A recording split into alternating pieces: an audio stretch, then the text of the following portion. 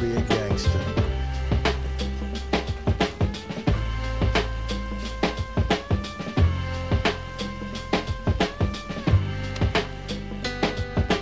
Damn, it feels good to be a gangster. A real gangster ass nigga plays his cards right. A real gangster ass nigga never runs his mouth because real gangster ass niggas don't start